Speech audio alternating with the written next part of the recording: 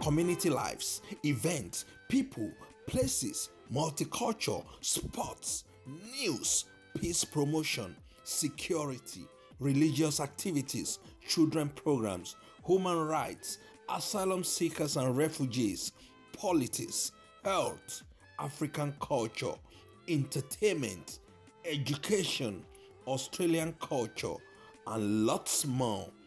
Our community lives, produced, directed, and hosted by Adeniyi Ekine. Our community lives, number one African Australian multicultural and human rights program, only on this station.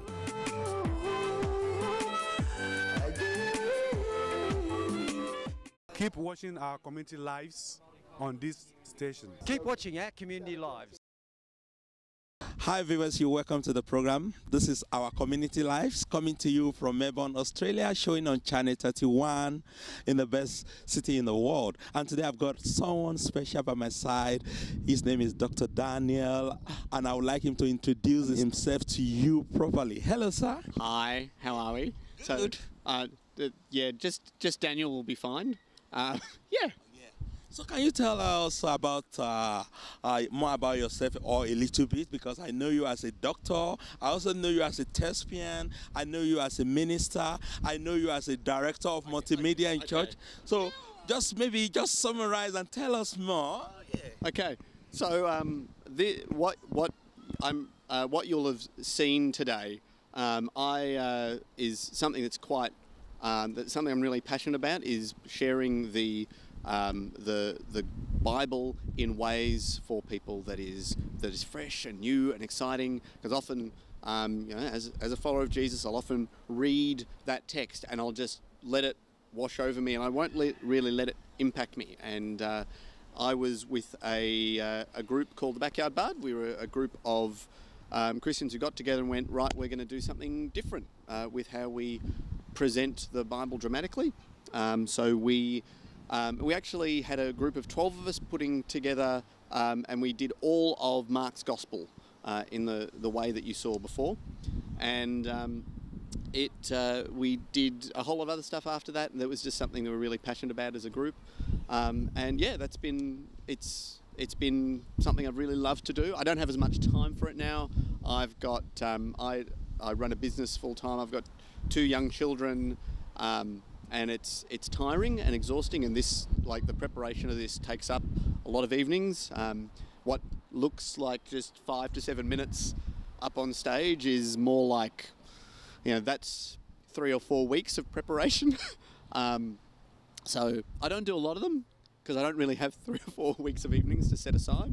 Um, but yeah, this is this is a, a big day. This is this is Resurrection yeah, Sunday. Yeah, Resurrection Sunday. Viewers, if you're watching this program, uh, probably maybe another time because our program is always uh, on repeat and so but today as we're recording this this is 2019 and uh, today is 21st and we're doing the easter sunday and uh, we've got a beautiful presentation about the resurrection of our lord jesus christ by uh, Dr. Daniel and Daniel Farrugia. Daniel Farrugia. Farrugia. and we in a in a short while now we'll be showing you the uh, drama clips. But before we go into the drama clips and uh, the story, I would just call it a ministration because it's just like a sermon. So, what uh, was the message all about?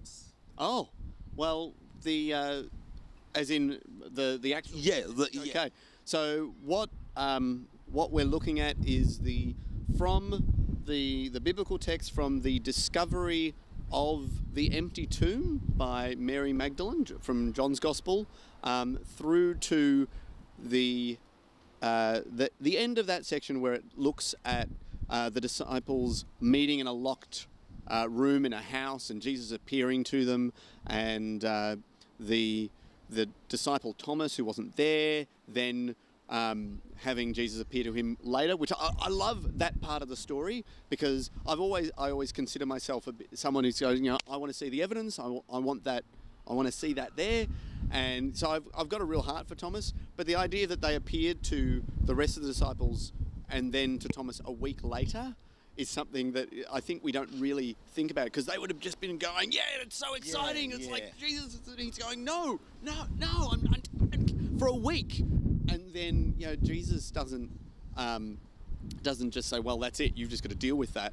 He he meets Thomas where he's at and says, you know, here are see, here are my hands. See the see the no- nails where the see the holes where the nails were. Put your hand in my side. Stop doubting and believe.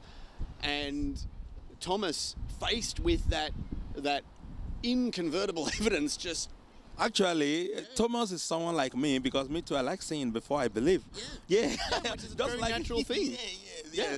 Yes, uh, but again, the Bible says, "Blessed are those who." not seen but still believe. So, what in conclusion, before we go into the segment of showing what you have done on stage today, uh, what is the sig- significance of the resurrection to Christian, to the world, or even to unbelievers? Yeah, well, the resurrection changes everything. It uh, it's validation. It is proof that Jesus was who he says he was. If he wasn't who he said he was, if he wasn't the Son of God, if his death didn't make a difference, then he was just a good teacher.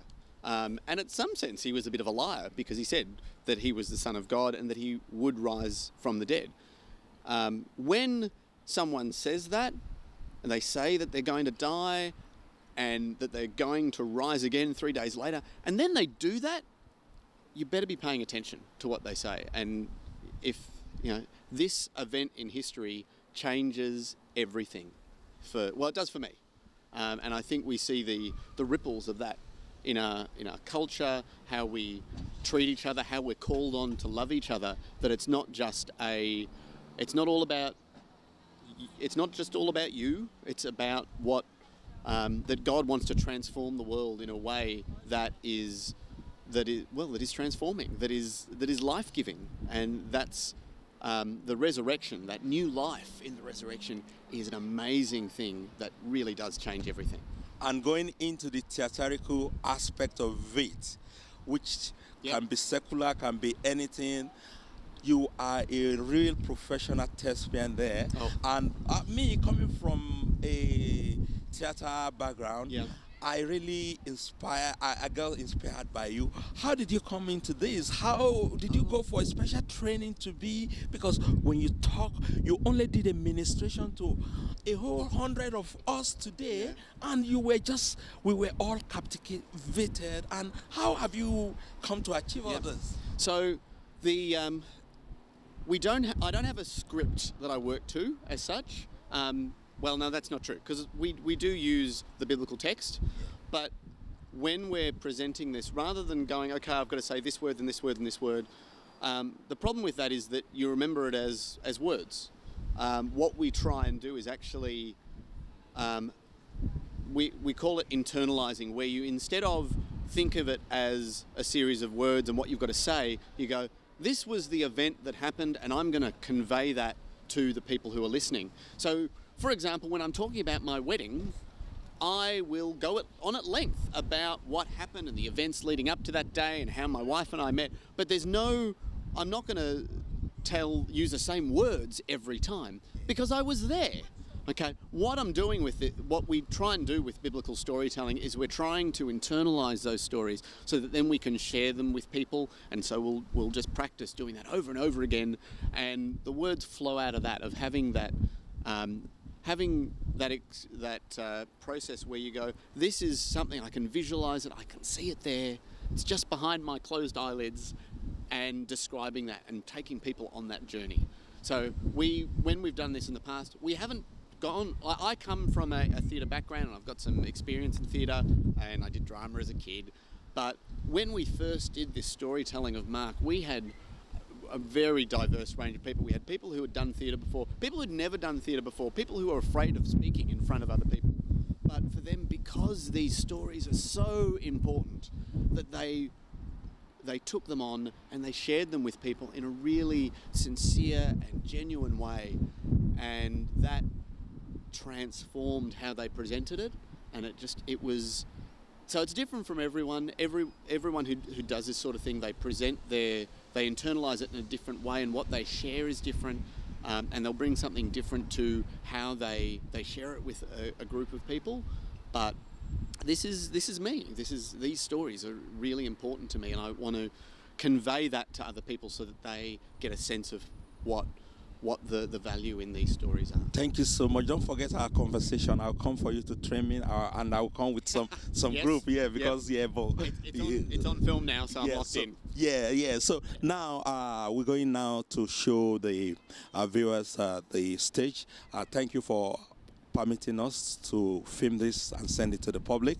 And uh, what is the name of what was the na- the title of your presentation today? Oh, it's uh, the I guess it's the resurrection account of Jesus taken from John's Gospel. It's right near the end. Yeah, thank you, viewers, ladies and gentlemen. Don't blink your eyes. Stay tuned. And this is Dr. Daniel. Don't blink your eyes.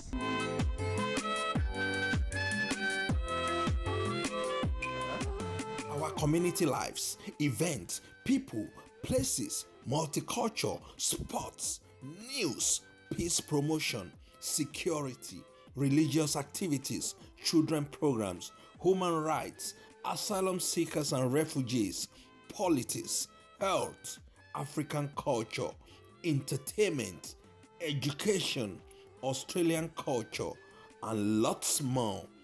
Our community lives, produced, directed, and hosted by Adeniyi Ekine.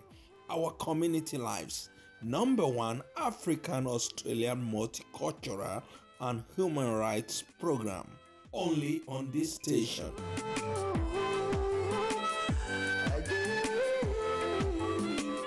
Keep watching our community lives on this station. Keep watching our community lives.